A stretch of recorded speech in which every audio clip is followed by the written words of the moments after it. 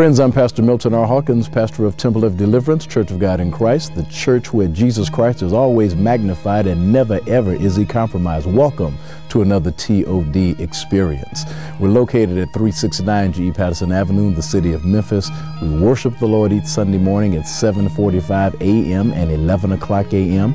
We meet again Sunday nights, 7 o'clock p.m., and then Tuesday night is a very special and a very powerful night at Temple of Deliverance pastoral teaching, miracle anointing service, night of deliverance. That service is at 7 o'clock p.m. You owe it to yourself to come out and study the Word of God with us. It will do you good. Well, we are growing by leaps and bounds. I mean, this church, I'm just in awe of what God is doing here in this ministry. So many people are coming to the Lord. So many people are getting saved. So many families are joining. So many young people, teenagers, and young adults are becoming a part of this ministry. God is bringing them out of the streets, out of their situations, and He's showing them a better way. And you need to come and be a part of this ministry. It's worth the drive, it's worth you coming. You will be blessed when you come and set your feet on the grounds of this ministry. I guarantee it because God will back it up with strength, power, and deliverance. Come out. I want to see you real soon. In the book of Second Chronicles, chapter 20, there's a very familiar story of Jehoshaphat being, look like, uh, scared to death because three nations came up against him the inhabitants of Mount Seir, the children of Ammon, the children of Moab. They came against him to do battle. He got nervous, he got fearful, but he did do the right thing. He prayed, he put his uh, people on a fast, on a consecration. And while they were praying, a man by the name of Jehaziel came up and said, Jehoshaphat, I got a word for you from the Lord. You don't need to fight in this battle. Here is the strategy put the choir, the praise team, the music department in front of the army and let them just go crazy praising God and giving God the glory in music. And when you get finished praising God in song, God's going to give you the victory. Isn't it something how we've got to have a strategy in order to obtain victory? Sometimes if you just sing a song, that song will lift your spirit. I want to talk to you today about strategies for victory. Your victory is more complete when you have a strategy in order to get there. Let's go into today's telecast. It came to pass after this also that the children of Moab and the children of Ammon, and with them other beside the Ammonites, came against Jehoshaphat to battle. Then there came some that told Jehoshaphat, saying, There cometh a great multitude against thee from beyond the sea on this side Syria. And behold, they be in Hazazon Tamar, which is Engedi. And Jehoshaphat feared and set himself to seek the Lord and proclaimed a fast throughout all Judah. And Judah gathered themselves together to ask help of the Lord. Even out of all the cities of Judah, they came to seek the Lord. And Jehoshaphat stood in the congregation of Judah and Jerusalem in the house of the Lord before the new court, and said, O Lord God of our fathers, art not thou God in heaven, and rulest now thou over all of the kingdoms of the heathen? And in thine hand is there not power and might, so that none is able to withstand thee? Jump down to verse 12. O our God, will thou not judge them? For we have no might against this great company that cometh against us. Neither know we what to do, but our eyes are upon thee. And all Judah stood before the Lord with their little ones, their wives, and their children. And then upon Jehaziel, the son of Zechariah, the son of Benaiah, the son of Jael, the son of Mattaniah, a Levite of the sons of Asaph, came the Spirit of the Lord in the midst of the congregation. And he said, Hearken ye all Judah, and ye inhabitants of Jerusalem, and thou King Jehoshaphat, thus saith the Lord unto you be not afraid nor dismayed by reason of this great multitude, for the battle is not yours, but God's. Tomorrow go ye down against them. Behold, they come up by the cliff of Ziz, and ye shall find them at the end of the brook before the wilderness of Jeruel. Ye shall not need to fight in this battle Set yourselves, stand ye still, and see the salvation of the Lord with you, O Judah and Jerusalem. Fear not, nor be dismayed. Tomorrow go out against them, for the Lord will be with you. Verse 17, ye shall not need to fight in this battle. Set yourselves Stand ye still and see the salvation of the Lord with you. For a few moments, I want to talk to you from the subject strategies for victory. Strategies for victory. Most of us would enjoy continual and uninterrupted victories in our lives. But sometimes we fail to realize that victory comes at a premium cost. Although victory is certainly more exhilarating than defeat, it comes with a hefty cost that many are not willing to pay. To obtain victory, one must have a plan that works. You not only need a plan, but you need a plan that works. What was stated many years ago is as true today as it was when it was first spoken. If you fail to plan, you plan to fail. And even in this economic downturn, you must have a strategy for your life that will bring you success. Well thought out strategies are beneficial regardless to your profession or calling in life. A war is only won when the proper strategy has been scrutinized and then implemented and allowed to succeed. Even though a country or a nation or an army wins a war, it comes with many unexpected casualties. The major corporations of our society today are downsizing, offering buyouts to employees. And many times they do it to stay competitive and to stay afloat in an uncertain world. But families suffer as a result of the numerous cutbacks. If we would only focus on the negative and the disappointing news that we hear every day, we would be, as the Apostle Paul said, men most miserable. But since God loves us, and since God has given us a plan for our lives, uh, since God have given us a sure strategy, we simply need to put it in motion and occupy till Jesus comes. Chronicles deals with both Judah and Jerusalem. Uh, many times in the scripture, Judah is, Jerusalem is sometimes referred to as Zion. It's because this is the place, this is the kingdom, the city where the temple was built. There were three reasons uh, that were very important to the temple. Number one, the temple was a symbol of the unity of the nation.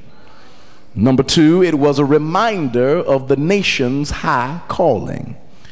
And thirdly, it was a sign that Jehovah was still with his covenant people.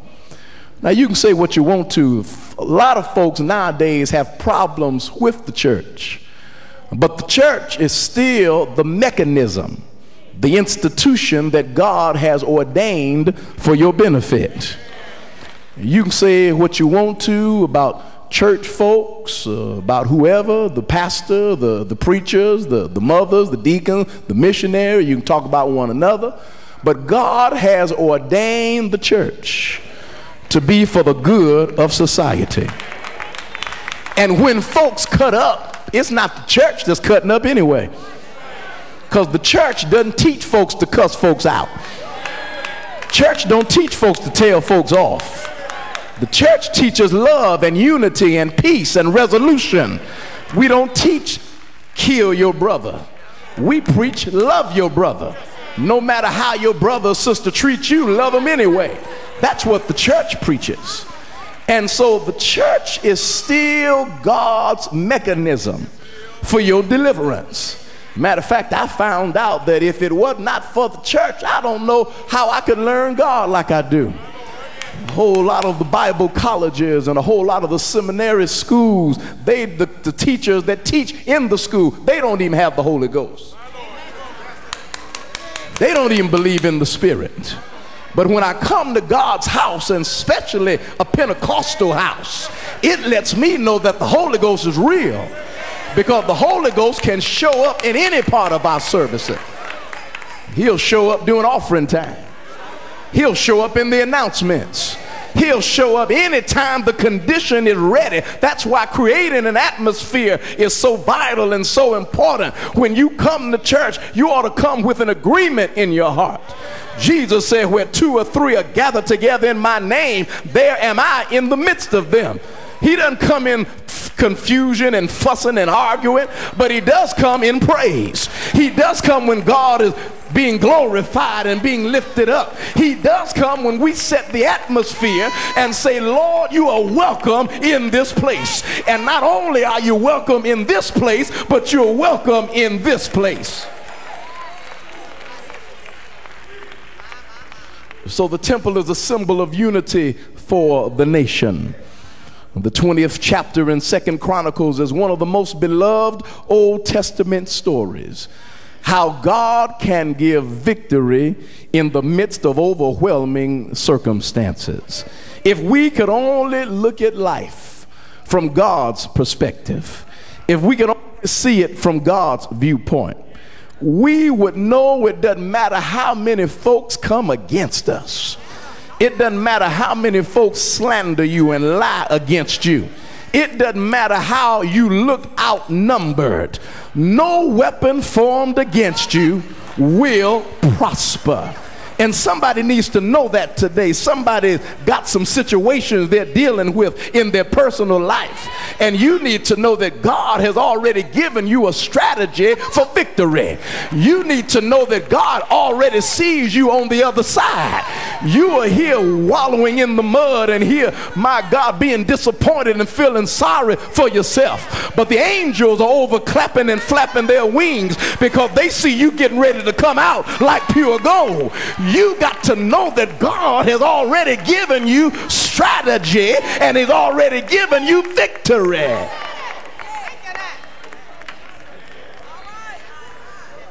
You see, you don't have to obtain victory by unconventional means. You don't have to obtain victory by illegal means. You don't have to obtain victory by ungodly means. You don't have to obtain victory by impractical methods.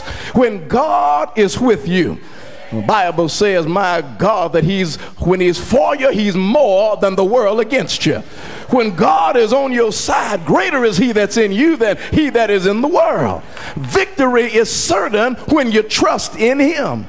One of the greatest statements that anyone can make about another is made about King Jehoshaphat in Second Chronicles chapter 17 verses 3 through 6. It says that the Lord was with Jehoshaphat because he walked in the first ways of his father David. Tell your neighbor you got to be careful how you walk.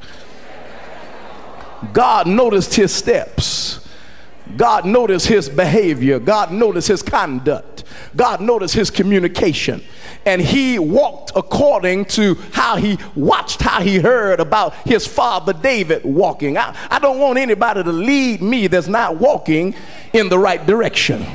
I don't want anybody to whisper into my spirit and feed my spirit when their spirit is full of deadly poison. I don't want anybody prophesying to me and you can't even get yourself straight.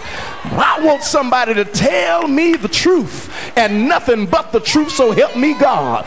And I want somebody that who knows how to have a relationship with God. Because if you can't relate to God, how can you get me to relate to God? You got to first relate to God before you can help somebody else. He walked in the first ways of David his father and sought not unto Baalim, but he sought the Lord God of his father and walked in his commandments and not after the doings of Israel. You see, your victory is not determined by what others do. Your victory is determined about what you do. When you do what's right, when you speak at folks when folks won't speak to you when you love folks that hate on you, when you do good to them that persecute you. It doesn't matter what they do to you, but just make sure you put out love in return. You see, real victory comes because you have relationship. You've got to be in love with God whole lot of folks love everything but God. But you got to learn how to love God. You got to love God when you don't hear him talking to you. You got to love God if he don't give you what you want immediately. You got to love God just because he is God. You better love him when you go to bed and love him when you wake up and love him all of your life. It's about relationship. You don't know how it feels to have victory until you've been knocked down a few times. You don't know what victory feels like until somebody tells you you're not going to amount to much. You don't know what real victory is until you've tasted some defeat. And the, the greater the defeat, the sweeter the victory. When God raises you up against all odds, oh my God, and that's what I like about God. He raises you up against all odds. Oh, many people, your family counted you out. Your friends counted you out. The devil tried to knock you out. But God said, live and give my name glory. Live and give my name praise. Jehoshaphat faced the greatest challenge of his life. He had three nations come against him the children of Moab, the children of Ammon, and the inhabitants of Mount Seir. In other words, Syria. He came up against them. They came against him to do battle. Some of you have been there. You've had trial after trial, and test after test, and problem after problem. And Jehoshaphat starts shaking like a leaf. The Bible said he feared, but fear is all right when it'll force you to your knees. Sometimes we don't pray until things get tight in our life. Sometimes we don't pray until we've got a storm in our life. But you better learn how to pray. I found the answer. I learned to pray with faith to guide me. I found the way. The sun is shining for me each day. I found the answer. I learned how to pray. So God gives him a strategy and it tells him to seek the Lord. So he starts to pray and then he fasts and turns his plate down. But you've got to remember That King Jehoshaphat was the king of Judah. And you know that Judah means praise. And sometimes the devil likes to back you up against the wall. Sometimes the devil likes to cloud your life with bad news. He's trying to destroy your praise. But you got to let the devil know that praise is what I do. Every time I look around, I feel like praising God. After all that I've been through, I still have my joy.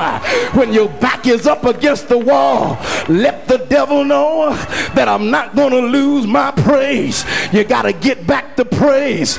He tried to cut off Judah. They tried to cut off praise because the devil is smart enough to know if I can stop the saints from praising God, I can stop them from victory. And since you know the devil wants to cut down your praise, it's time for you now to make a joyful noise unto the Lord. All ye lands, serve the Lord with gladness. Come before his presence with singing. Know ye that the Lord, he is God. It is he that have made us and not we ourselves. We are his people and the sheep of his pasture. Enter into his gates with thanksgiving and into his courts with praise. Be thankful unto him and bless his name. For the Lord is good. Every time I come in here, I enter his gates with thanksgiving. I thank him in advance. I thank him for what I already prayed for. I thank him for what I don't see because I know it's on the way. When I look over my life, I could have been dead. I had asthma for over 40 years.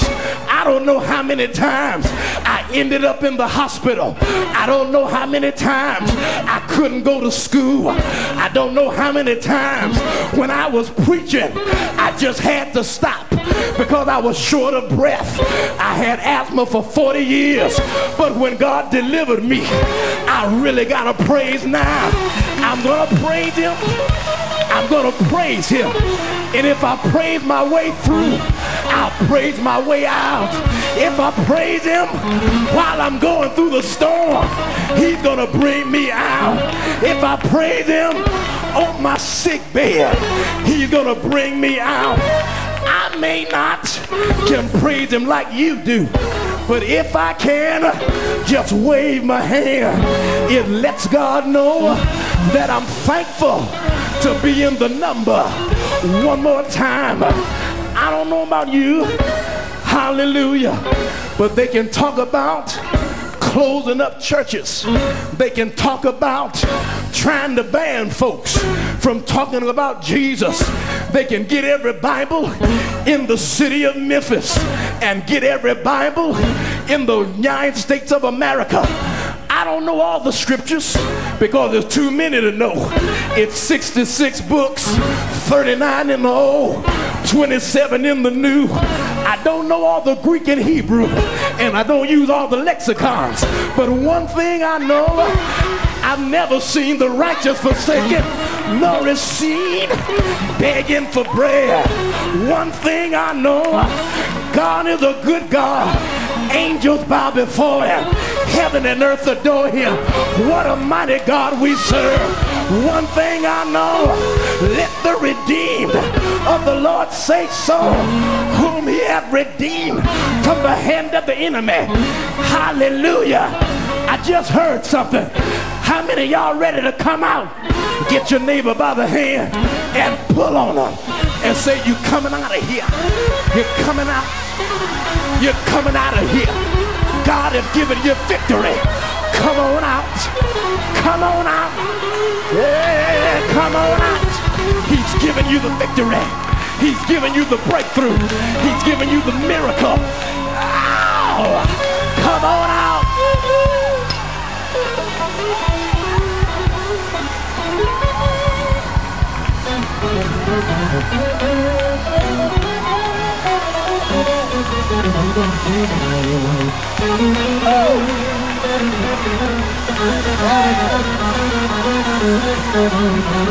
Hallelujah.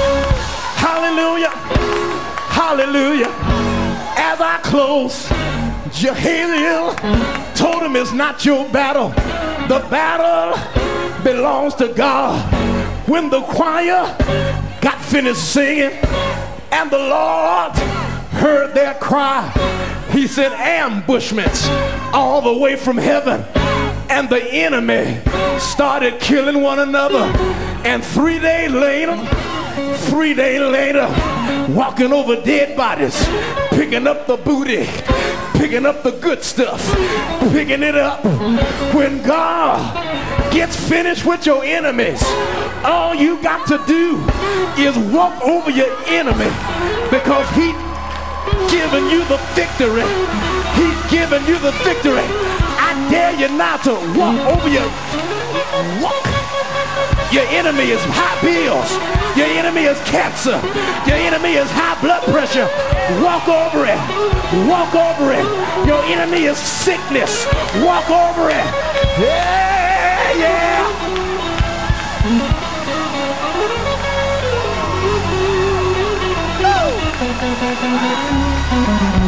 Come on and praise him. Praise him.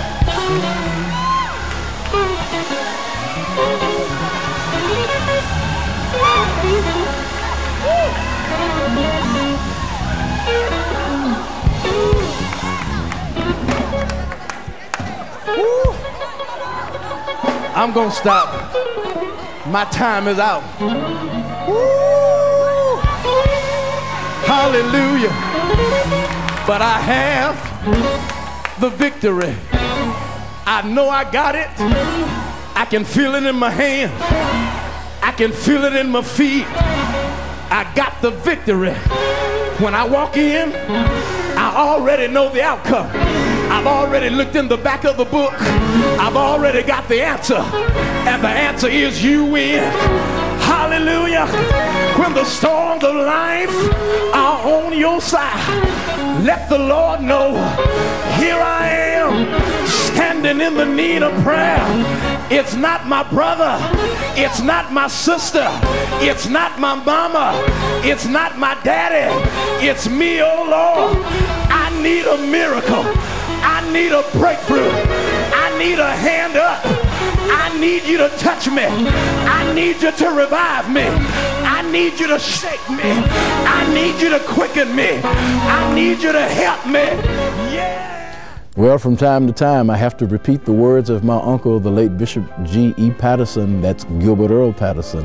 Here is another message that you need in your tape library. You can have this in its entirety by writing me, Pastor Milton R. Hawkins, Temple of Deliverance, 369 G.E. Patterson Avenue, Memphis, Tennessee, 38126.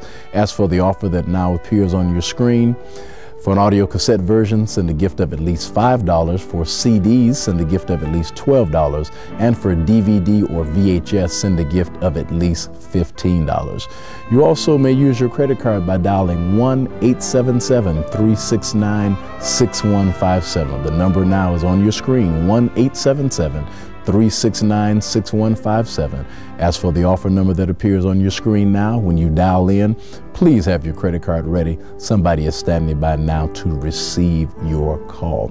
Well, again, we're looking forward to you coming because the Lord is doing great things in this ministry, and I want you to be a part of a fascinating, growing, lively church. We'll do you good. God bless you until our next telecast.